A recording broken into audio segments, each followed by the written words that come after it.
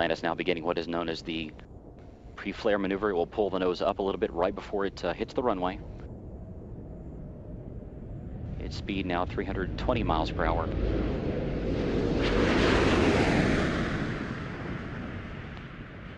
The gear is down and locked.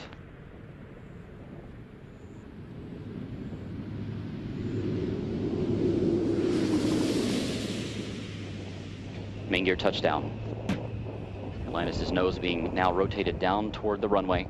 The uh, chute being deployed. And nose gear touchdown. Space Shuttle Atlantis now comes home to the Kennedy Space Center for the final time. 25 years, 32 flights, and more than 120 million miles traveled. The legacy of Atlantis now